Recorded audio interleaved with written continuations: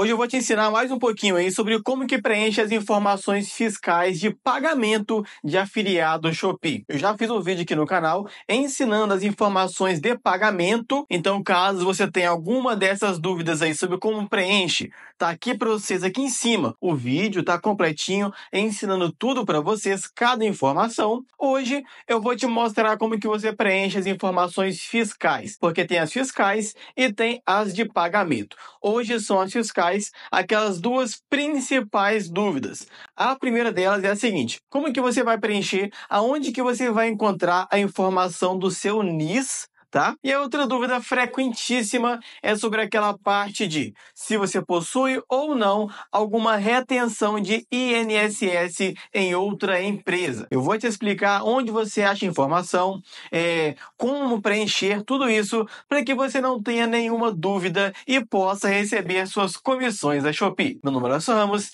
e esse é o Descubra Review.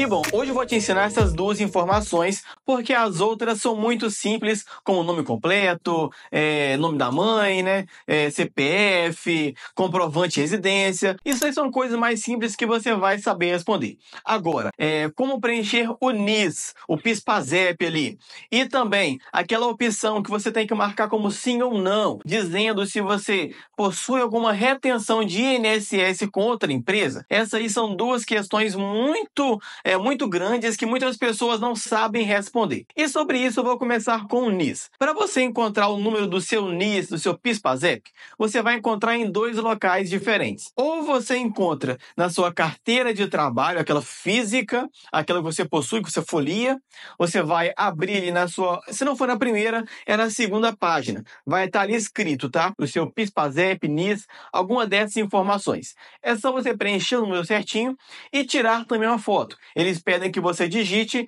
e também que tire uma foto é, comprovando aonde fala qual que é o seu NIS, tá? Só fazer isso ali que você vai conseguir. Caso você não tenha uma carteira de trabalho física, você vai encontrar em outro local, que é lá no seu aplicativo do FGTS. Você vai abrir o seu FGTS, aplicativo dele, tem lá na Play Store, na Apple Store, você vai fazer um cadastro e ali você vai encontrar a sua informação de NIS, tá bom? Só você ir dentro ali do seu aplicativo que você vai encontrar. Agora, a outra informação é a seguinte: é, se você possui ou não alguma retenção de INSS em outra empresa. Rapaziada, se você tem, por exemplo, o CNPJ, se você, por exemplo, é, paga separado, se você, por exemplo, tem uma carteira assinada com uma empresa, você faz esse pagamento. Então aí você tem que marcar sim.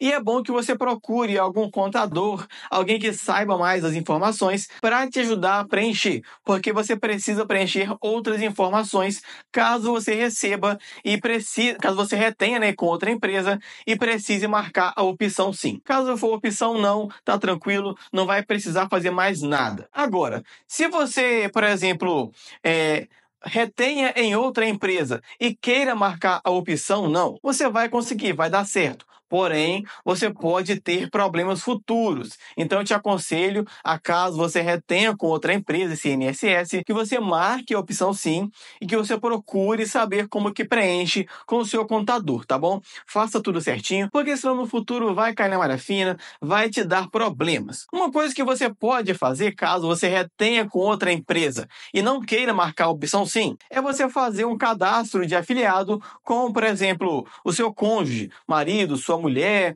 ali que não tenha né, nenhum vínculo com outras empresas. Assim você vai marcar a opção não e vai usar o CPF dessa pessoa, tá?